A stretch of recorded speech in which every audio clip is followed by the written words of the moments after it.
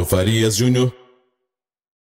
Quais os impactos da pandemia do coronavírus no dia a dia da fábrica de calçados Dile Esportes em Brejo Santo? A empresa se adaptou a esta nova realidade com novos layouts e regras de procedimentos e tem aproveitado para produzir máscaras e protetores faciais. Os colaboradores que chegam de moto são orientados a estacionar sempre mantendo um bom espaço entre as motos. Aliás, observamos que esse espaçamento é respeitado durante todo o processo de entrada na fábrica e também durante o expediente de trabalho.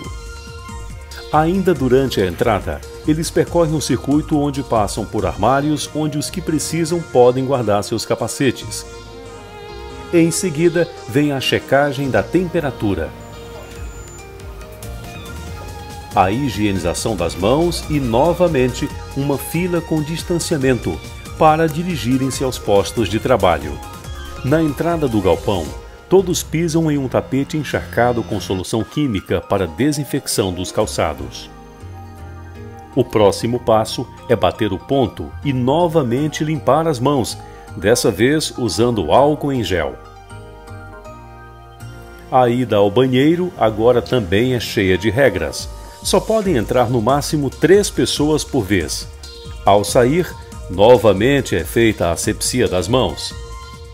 E a toalha de papel é usada para abrir a porta e depois descartada na lixeira. Para abastecer a garrafinha no bebedouro, também é necessário manter a distância e seguir outras orientações.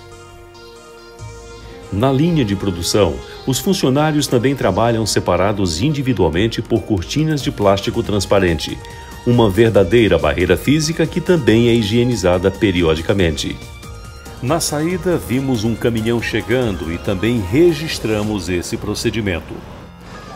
O motorista estaciona e vai direto lavar as mãos.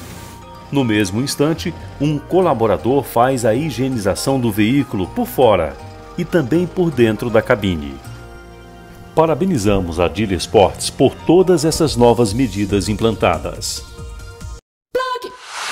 Farias Júnior